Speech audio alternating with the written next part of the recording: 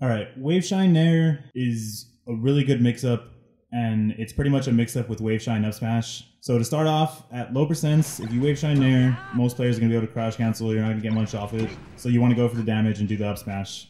Maybe after 30% or so, that's when you start mixing in the Nair, and it has so many pros to it. Pretty much, if you wave shine Nair someone near the edge, it puts them at a lower angle, so you can actually get an edge guard as opposed to if you wave shine Up Smash at the edge, they just go up, and it, it's way easier to recover when you're up high as opposed to being at a level height with the ledge. It also can combo really well. If someone's expecting the up smash, a lot of players tend to DI in and up so they don't go too far off the stage. And if you do wave shine Nair when they're DIing like that, you can usually follow up with another Nair or even just the shines, you can get them going downward so you can actually get an edge guard after that.